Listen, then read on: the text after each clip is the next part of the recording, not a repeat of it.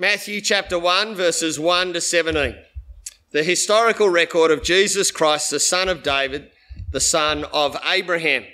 Abraham fathered Isaac, Isaac fathered Jacob, Jacob fathered Judah and his brothers, Judah fathered Perez and Zerah by Tamar. Perez fathered Hezron, Hezron fathered Aram, Aram fathered Amminadab, Amminadab fathered Nahshon, Nahshon fathered Salmon, Salmon fathered Boaz by Rahab. Boaz fathered Obed by Ruth, Obed fathered Jesse, and Jesse fathered King David. Then David fathered Solomon by Uriah's wife. Solomon fathered Rehoboam. Rehoboam fathered Abijah. Abijah fathered Asa. Asa fathered Jehoshaphat. Jehoshaphat fathered Joram. Joram fathered Uzziah. Uzziah fathered Jotham. Jotham fathered Ahaz. Ahaz fathered Hezekiah. Hezekiah fathered Manasseh. Manasseh fathered Amon.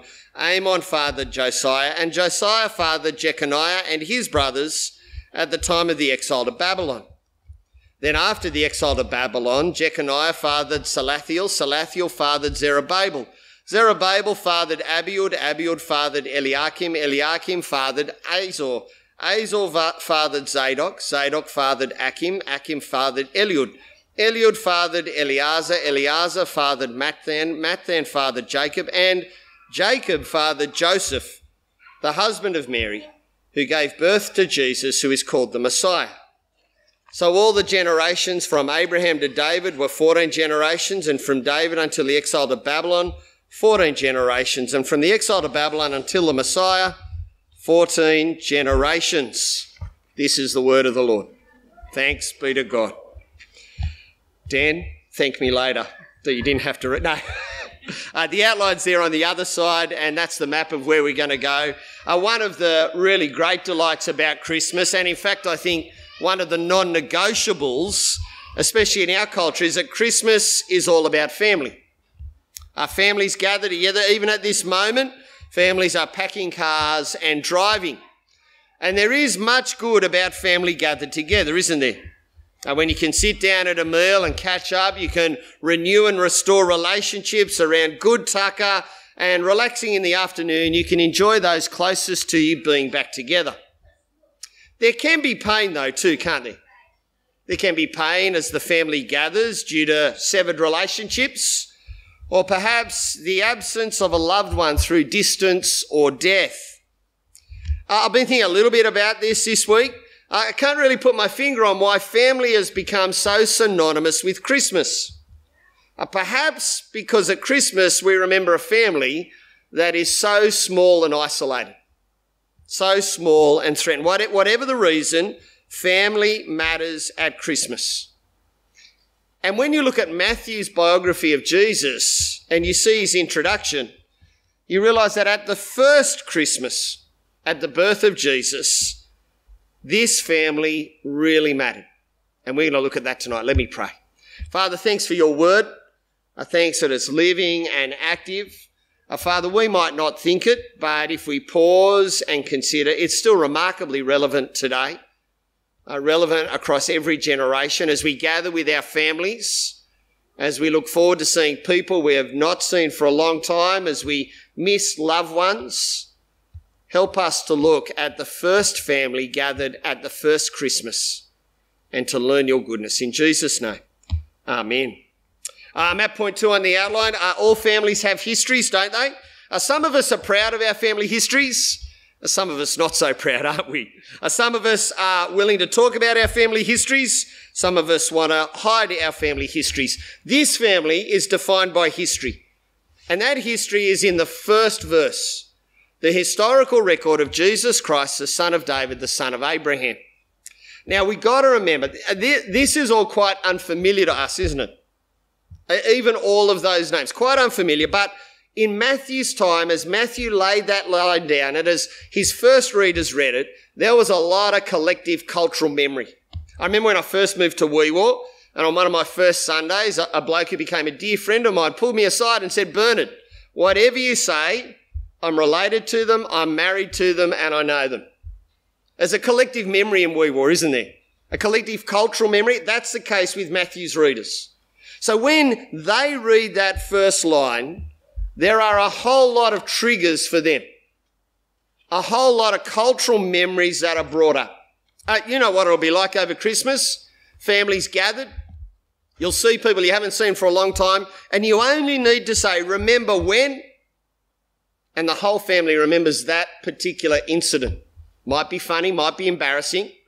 It might be one you wish you'd forget, but everyone has a collective memory. Matthew has picked up on that. And it's all connected to one bloke, and his name is Jesus. Do you see how he describes Jesus there in the first verse? He describes him as Christ.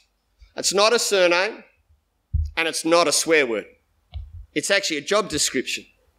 It's a title given to Jesus because God had picked him for a job. It's used a number of times in the Bible for a person that God set aside, anointed, or appointed to do a special job for God. In this case, it's a fairly big job. It's to save the world. And it's a job that carries the two promises that immediately follow Jesus Christ, the Son of David. Uh, this was the reading that Dan brought us from 2 Samuel 7. David was the greatest king of God's people, Israel. He's not the greatest because he's great, if you know what I mean. He's the greatest because of the promise God gave him. If you listen carefully to what Dan was saying, God said that through David's family tree, God would raise up the greatest king the world had ever seen. A king who ruled not because he wanted to get a bigger bank account or fame or gain, but a king who would bring peace and security for the world. He'd be from David's family, but be called God's son. And he'd rule forever. Now, I've never been a king. I'd aspire to. It'd be a great job, I reckon. But I reckon there are a number of barriers you've got to overcome to be a king. This king has a massive barrier to overcome. Uh, it's the barrier called sin. The fact that people want to have nothing to do with God. And dealing with that barrier comes within the context of another promise that follows closely on. Jesus Christ, the son of David, the son of Abraham. That was the other reading that Dan gave us from Genesis 12. Abraham was the father of God's family. David was from Abraham's family. Abraham was great just like David, not because he was a good bloke, but because of what God promised him. If you listen carefully to what Dan read in Genesis 12, God made a commitment to Abraham at the very point when Abraham wanted to have nothing to do with God. When Abraham didn't have a family, when Abraham didn't even have the prospect of a family, God said, through your family, Abraham, I'm going to change the world. I'm going to deal with human sin. The very basic human nature that says we can do life without God. In fact, I'm better at being God than God is. And through Abraham's family, God said he would deal with that big problem. So as Matthew kicks off his biography of Jesus, he wants us to pick up on the collective family history. The history of a job description and a family tree that promises great salvation to the world. And if you're going to put that together, you'd want a pretty impressive family tree, wouldn't you?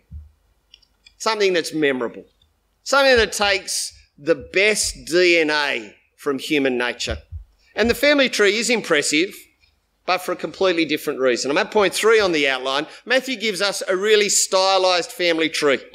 He organises it into a series of 14 generations.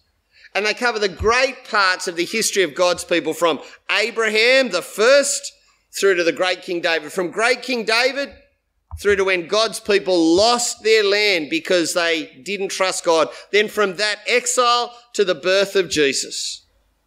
But it's not an impressive family tree. If you look there on that side of your sheet where the Bible reading is, there are plenty of familiar names. But do you know the nature of these men? Look there, verse 2 Abraham. Abraham's the patriarch, the father of God's mob, and when God talked to him, he was an idol worshipping pagan who wanted nothing to do with God. His son Isaac, well, Isaac tore his own family apart because he played favourites with his kids. And then Isaac had a boy called Jacob.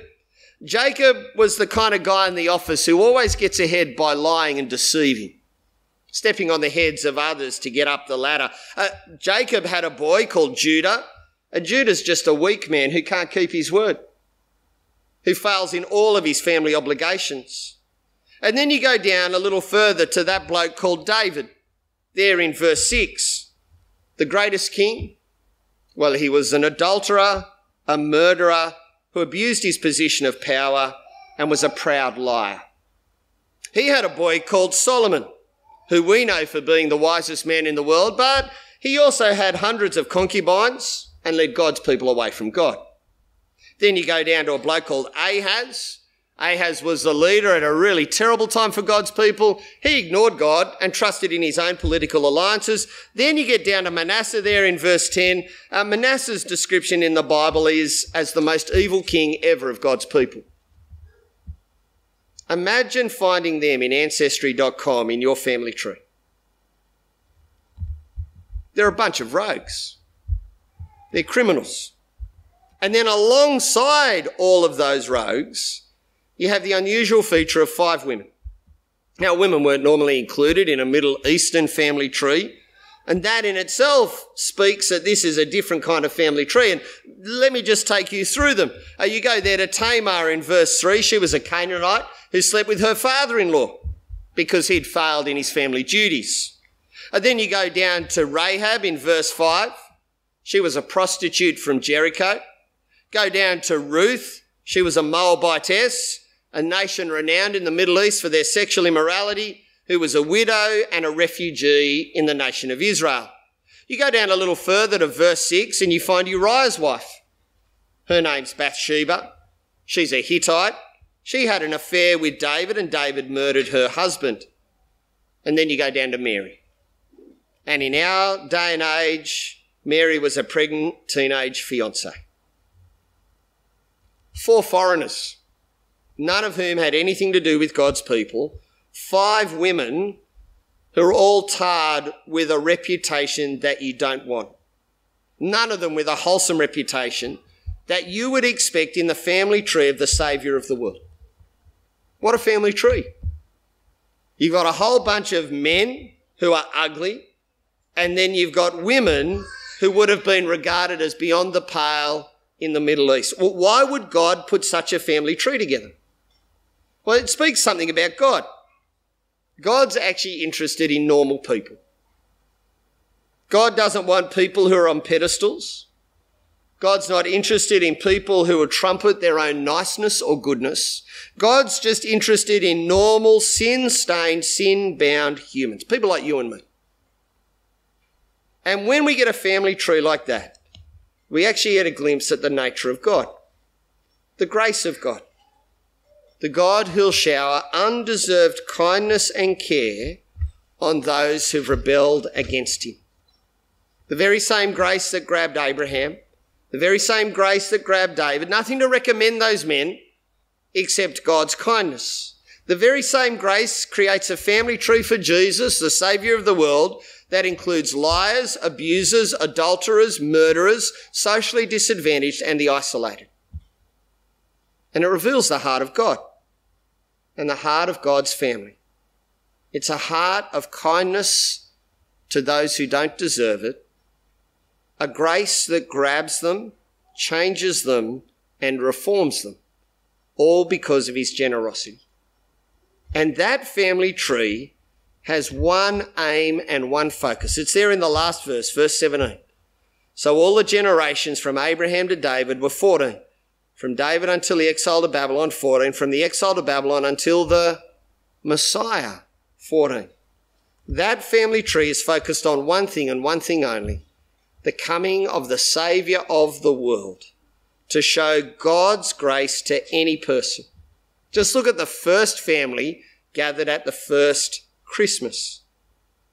Family and Christmas go hand in hand. I'm at the last point on the outline but perhaps not for the reasons we often think. Matthew kicks off his biography of Jesus showing Jesus' family gathered, truthfully and historically, for the first Christmas. And it gives us a number of thoughtful prods, at least three. They're there on your outline. The first is Jesus' family tree gives us great hope. When we read verses like this, I think we should be given great hope, great confidence because of this kind of family tree. And it comes from Jesus' family history of promises. God always does exactly as he says. Through Abraham's family, I'm going to save the world. Through David's family, I'm going to create a king who'll rule forever. And he will save the world. God does exactly as he promises. God is good for what I, whatever he says. It never changes. And it happens in real time and space.